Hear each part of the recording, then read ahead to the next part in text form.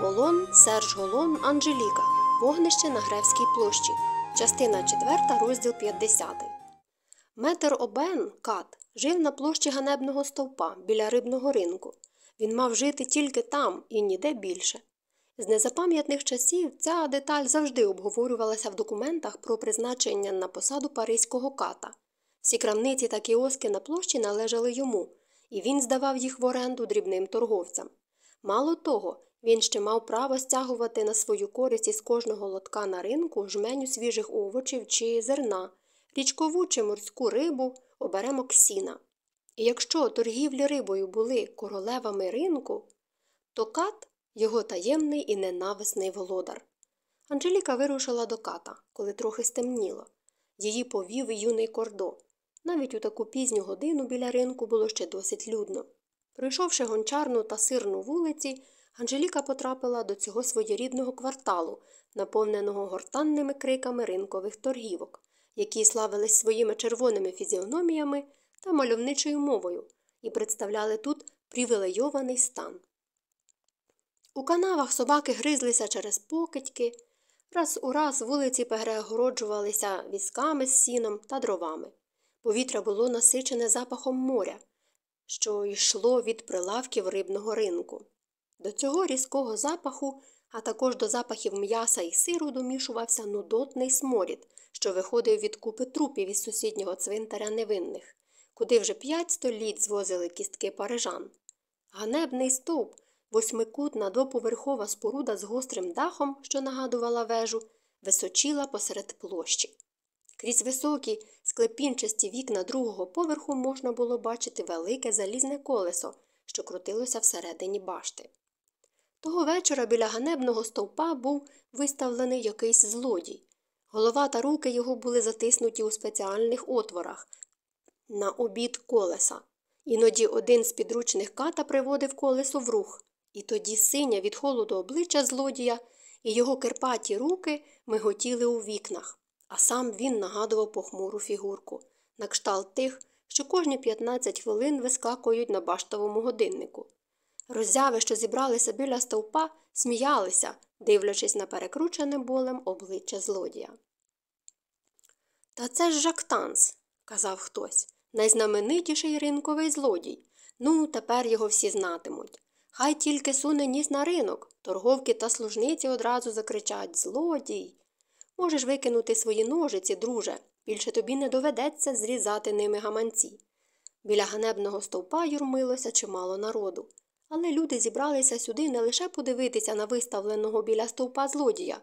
Вони хотіли змовитися з двома підручними ката і отримати жетони, які ті продавали на першому поверсі. Бачите, пані, сказав Кордо з деякою гордістю, всі ці люди хочуть подивитись завтра на страту. Але, звичайно, на всіх жетонів не вистачить. З байдужістю, невіддільною від його професії, що обіцяло зробити з нього чудового ката, він показав Анжеліці повідомлення, яке глашатаї вранці читали у місті на всіх перехрестях. Пан Обен, постійний кат міста Парижа та його околиць, повідомляє, що він продаватиме за помірною ціною місця на ешафот, з якого завтра можна буде бачити багаття, запалене на Гревській площі для страти чаклуна. Жетон можна придбати у панів підручних метра Обена біля ганебного стовпа. Місця будуть позначені геральдичною лілією, а на жетонах буде зображено хрест святого Андрія. Бажаєте, я куплю вам жетон, якщо у вас є гроші, люб'язно запропонував учень ката. Ні, ні, з жахом озвалася Анжеліка. Ви саме маєте на це право, глибокодумно зауважив підліток. Без жетону ви навіть близько підійти не зможете, попереджаю вас. Коли когось вішають, народу майже немає, всі вже надивилися, а от спалюють значно рідше. Тиснява буде ой-ой-ой. Метр Обен каже, що він вже наперед турбується. Він не любить, коли довкола багато людей і всі кричать. Він каже, що ніколи не вгадаєш, що може спасти їм на думку. Ось, пані, нам сюди, заходьте. Кімната, в яку юний кордов вів Анжеліку, була чиста й прибрана, щойно запалили свічки. За столом сиділи три маленькі дівчинки, акуратно одягнені у вовняних капорах, із під яких вибивалися світле волосся, і їли кашу з дерев'яних мисок. Біля вогнища дружина ката штопала яскраво червону сорочку чоловіка. Привіт, господине, сказав кордо. Ось я привів цю жінку. Вона хоче поговорити з хазяїном. Він у палаці правосуддя, має скоро прийти. Сідайте сюди, моя красуне. Анжеліка сіла на лаву біля стіни. Господиня з-під лоба поглядала на неї, але ні про що не питала, і це відрізняло її від інших жінок. Скільки вона вже перебачила їх на цій лаві, збожеволілих дружин, виснажених матерів, зневірених дочок, які приходили благати ката надати останнє милосердя, полегшити страждання коханої людини. Скільки людей вривалося в цей тихий будинок і, простягаючи жмені золота чи погрожуючи, вимагали від ката неможливого допомогти засудженому тікати. Дружина ката мовчала, чи то від байдужості, чи то зі співчуття, і в тиші було чути, тільки як тихенько сміялися дівчатка, дратуючи кордо. Почувши біля дверей кроки, Анжеліка підвелася, але це був не той, на кого вона чекала. Увійшовши, виявився молодим абатом. Перш ніж увійти, він довго витирав біля порогу свої грубі вкриті грязюкою черевики. Метра Обена немає вдома? Він скоро прийде. Заходьте, заходьте, пане абате, і якщо хочете, сядьте біля вогнища. Ви дуже добрі, пані. Я належу до місії Венсан де Полю. І мені доручено сповідати засудженого завтра до страти. Я прийшов до метра Обена, щоб вручити йому листа за підписом начальника поліції та отримати в нього дозвіл пройти до нещасного. Провести ніч перед смертю у молитвах добра справа. Щоправда, то правда, підтакнула дружина ката. Сідайте, пане абате, посушіть ваш плащ. Кордо, підкинь вогонь дров. Вона відклала у бік червону сорочку і сіла за прядку. А ви відважна людина, продовжувала вона. Невже ви не боїтеся чарівника? Коли настає смертна година, будь-яке створіння Боже, навіть найгрішніше, заслуговує на наше співчуття. А ця людина невинна. Він не вчинив того страшного злочину, в якому його звинувачують. А всі вони так кажуть, філософськи помітила дружина ката. Якби пан Венсан був живий, завтра не було б багаття. Я чув, як буквально за кілька годин до своєї смерті він із тривогою говорив про те, яке несправедливе звинувачення нависло над одним із дворян королівства.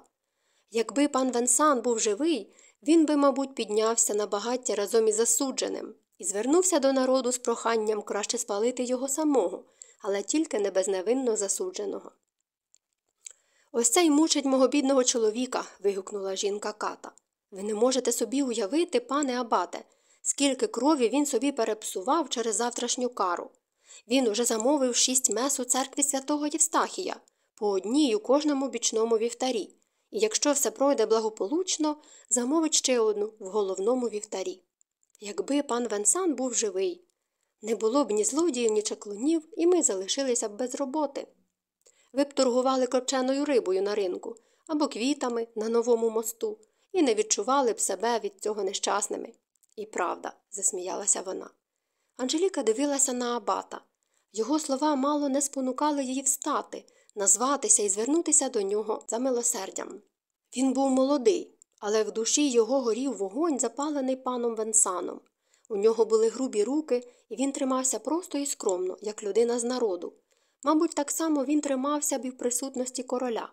І все таки Анжеліка не рушила з місця. За ці два дні вона стільки пролила горючих сліз у себе в кімнатці наодинці зі своєю страшною бідою. Але тепер сльози в неї вичерпалися, і серце скам'яніло. Жодним бальзамом не можна було втішити біль її рани, що кровоточить. Відчай породив отруйну квітку, ненависть. Вони сторицею заплатять мені за всі страждання, які завдали йому. І коли вона прийняла це рішення, у неї раптом прокинулася жага до життя, до енергії. Хіба можна пробачити такому, як Беше? Вона продовжувала сидіти, завмерши в напруженій позі і судорожно стискаючи під своєю накидкою гаманець, який дав їй дегре. Ви можете мені повірити, пане Абате, але найбільший її гріх це те, що я пишаюся своїм становищем, сказала дружина ката. О, ви мене вражаєте. вигукнув абат, ляскаючи себе по колінах.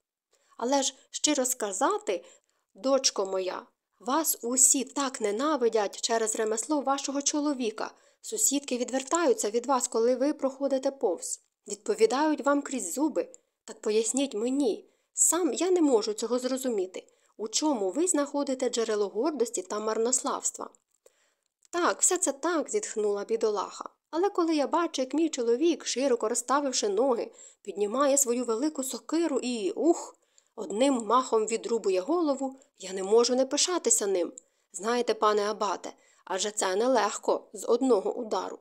Донько моя, я здригаюся, слухаючи вас. І абат задумливо додав невимовна душа людська. В цей час відчинилися двері. До кімнати увірвався шум площі, і неквапливим важким кроком увійшов широкоплечий гігант.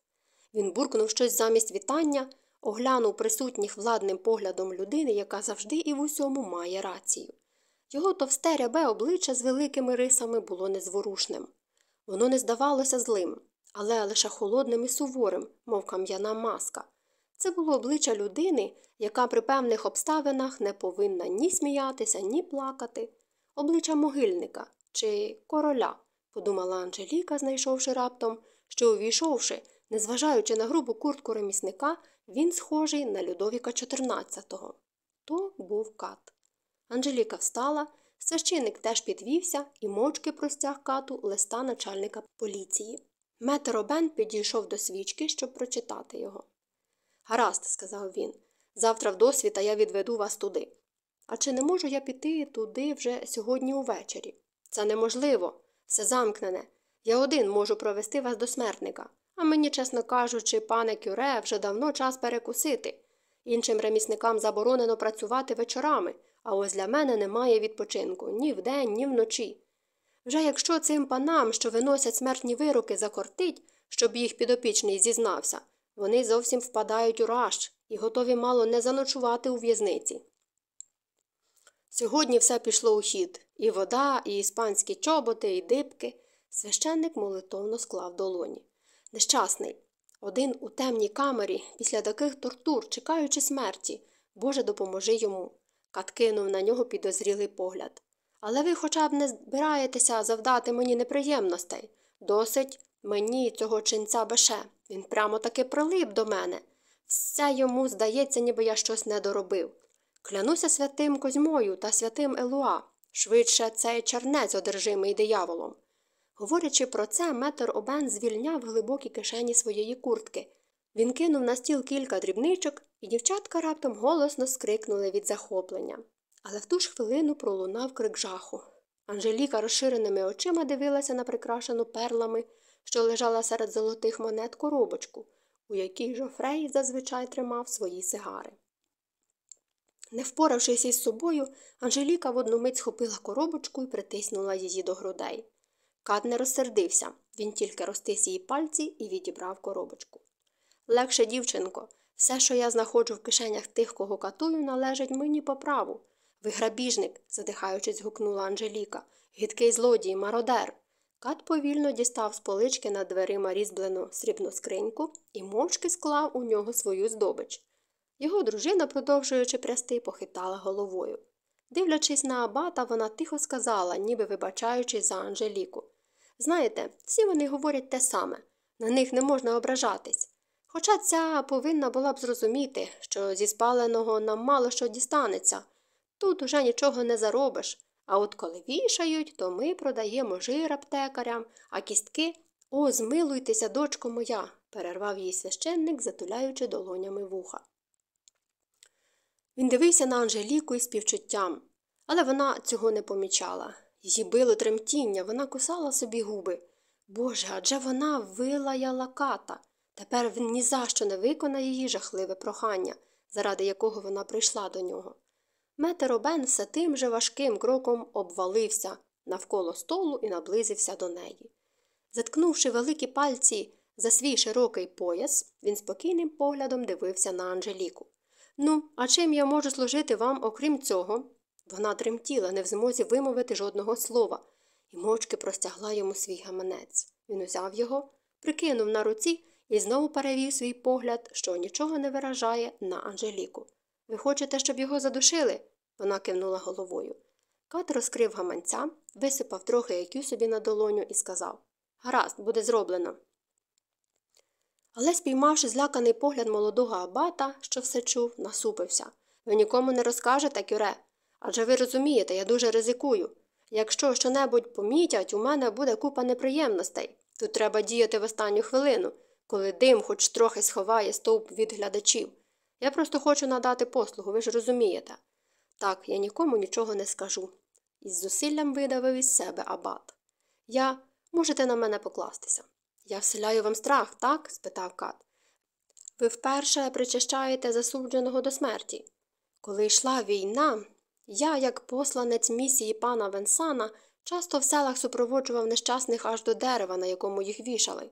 Але то була війна, жах і шаленство, викликані війною. А зараз, коли і Кюре скрушно показав на світловолосих дівчаток, що сиділи перед своїми мисками. А зараз це правосуддя, майже урочистим голосом проголосив кат. Він сперся на стіл, влаштовуючись зручніше, як людина, яка не проти поговорити.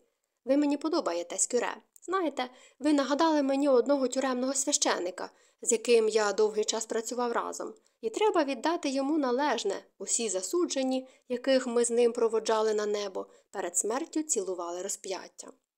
А після страти він завжди ридав, ніби втратив власну дитину, і ставав таким блідим, що я змушував його випити чарку вина, щоб він трохи прийшов до тями. Я завжди беру з собою латаття доброго вина, адже ніколи не знаєш, як все обернеться, особливо з підручними.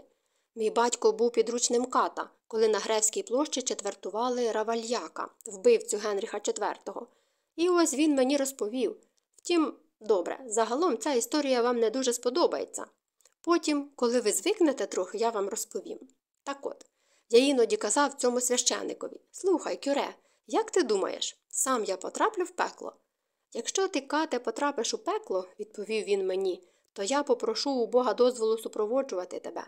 Зачекайте, абате, зараз я вам дещо покажу, це вас трохи заспокоїть. Порившись знову у своїх численних кишенях, Метеробен дістав маленьку бульбашку. Секрет цього зілля відкрив мені батько, а йому його дядько, який був катом при Генріху IV. Мені його таємно готує один аптекар, мій приятель. А я в обмін даю йому черепи, з яких він робить якийсь там чудодійний порошок. Аптекар запевняє, що порошок виліковує хвороби нирок та апоплексію, але для цього потрібний череп тільки молодої людини, яка загинула насильницькою смертю. А втім, це його справа. Я йому даю один чи два черепи, а він мені без зайвих розмов зілля. Коли я наливаю кілька крапель зілля смертнику, той одразу стає молодцем, бо притупляються почуття. Правда, я даю це зілля тільки тим, чиї родичі мені заплатять. Але все одно, пане Абате, я надаю їм велику послугу, хіба не так? Анжеліка зі здивуванням слухала його. Кат обернувся до неї. Хочете, я дам йому трохи зілля завтра вранці. Вона на силу видавила себе побілілими губами. Я я не маю більше грошей. Гаразд, це увійде до загальної плати, відповів метеробен, підкидаючи гаманець на долоні. Він присунув до себе срібну скриньку і поклав у нього гаманця. Пробурмотівши щось на прощання, Анжеліка попрямувала до дверей і вийшла. Її нудило. У неї болів поперек і незвично ломиле все тіло. На площі панували колишні пожвавлення, чулися крики і сміх, і після важкої гнітючої обстановки в будинку ката у неї навіть полегшало на душі. Незважаючи на мороз, двері лавок були відчинені навстіж. Господарі, стоячи на порозі, як завжди в цей час, розмовляли одне з одним. Стражники зняли з ганебного стовпа злодія і тепер вели його до в'язниці шатле, а ватага дітлахів бігла за ними, закидаючи їх сніжками. Анжеліка почула за собою чиїсь квапливі кроки. Захекавшись, її наздогнав молодий абат. Сестро моя, бідна сестро моя, пробурмотів він, я не міг залишити вас у такому стані. Анжеліка різко відсахнулася. При слабкому світлі ліхтаря однієї з лавок абат із жахом побачив звернене до нього прозоре, без крові обличчя, на якому лише горіли якимось фосфоричним світлом зелені очі. Залишіть мене, твердим голосом сказала Анжеліка. Ви нічим не можете мені допомогти. Моліться Богу, сестро моя, в ім'я вашого Бога завтра спалять мого ні в чому невинного чоловіка. Сестро моя, не посилюйте свої страждання, ремствуючи проти неба. Згадайте, в ім'я Бога розіп'яли Ісуса Христа. Я збожеволію від вашої дурниці. крикнула Анжеліка пронизливим голосом, який, як здалося їй, ішов звідкись збоку. Але я не заспокоюся, поки сама не покараю одного з ваших служителів божих, і він не загине в таких страшних муках. Вона притулилася до стіни, затулила обличчя руками, і тіло її затремтіло від ридання. Ви його побачите. Скажіть йому, що я його кохаю, кохаю. Скажіть йому, о, скажіть, що я була з ним щаслива. І ще запитайте, як мені назвати дитину, яка має народитися? Добре, сестро моя. Він спробував взяти її руку, але вона висмикнула її і пішла вперед. Священик зрозумів, що слідувати за нею безглуздо. Зігнувшись, наче тягар людського горя, зовсім придавило його. Він попрямував вуличками, де ще витала тінь пана Венсану. Анжеліка квапливо йшла до тампля. Їй здавалося, що у неї шумить у вухах, бо їй весь час чулося, ніби довкола кричать Пейрак, пейрак. Зрештою, вона зупинилася. Ні, це не здається їй. А сатані одному сповна за красу нагорода дана. Видершись на кам'яну тумбу, які служать вершникам для того, щоб зручніше було схопитися в сідло, худий хлопчик крипким голосом горланив останні куплети якоїсь пісеньки, пачку відбитків якої він затис під пахвою. Анжеліка повернулася і попросила дати їй пісеньку. Надрукована на аркуші грубого паперу, вона ще пахла друкарською фарбою. На дворі було занадто темно, щоб читати, і Анжеліка, склавши листок, знову рушила в дорогу. У міру того, як вона наближалася до тампля, її думки поверталися до Флоремона. Він став тепер такою непосидою, що вона боялася залишати його одного. Його доводилося прив'язувати до ліжечка, і це дуже не подобалося дитині. Коли матері не було вдома, він, не перестаючи, плакав, і, повернувшись, вона знаходила його схлипуючим та тремтячим.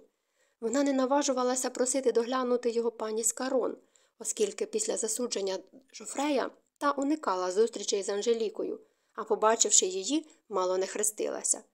Ще на сходах Анжеліка почула плач Флоремона і квапливо вибігла нагору. Я прийшла скарби мій, мій маленький принце.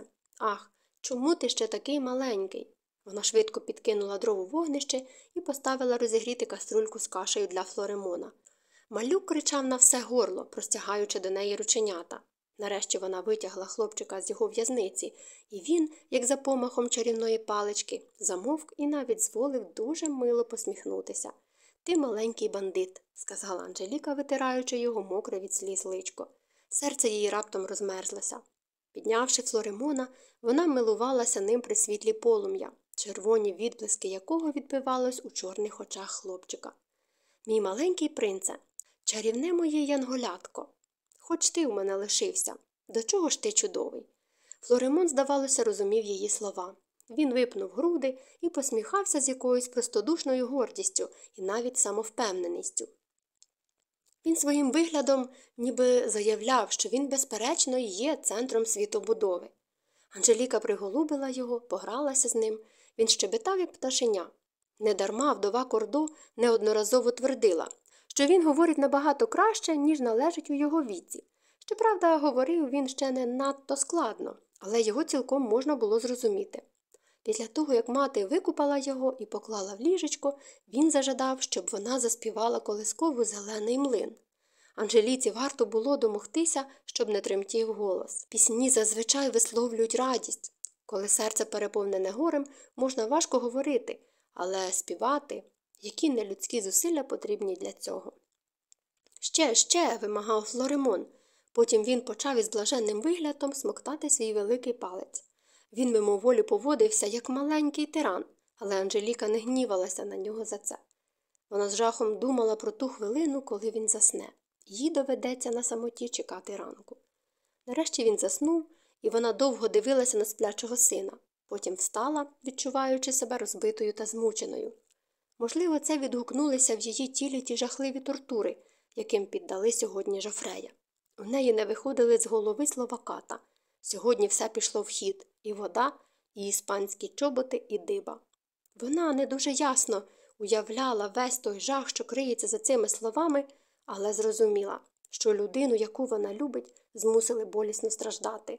О, хоч би швидше все закінчилося.